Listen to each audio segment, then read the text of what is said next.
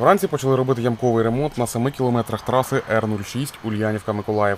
Це частина дороги від стели Миколаїв, що встановлена на Тернівській розвилці до пам'ятника літаку Міг-19, що встановлений перед поворотом на міжнародний Миколаївський аеропорт. Максим Подима, оператор струйної машини, говорить, на ділянці працює чотири машини. У нас две смены, должно быть... э, У нас дві зміни. Ми повинні в цю годину вийти, потім через певний час інша зміна працюватиме. Сказали закрити ями, закрити великі ями. Близько 13.30 біля Миколаївського міжнародного аеропорту зібралися працівники поліції та ДСНС.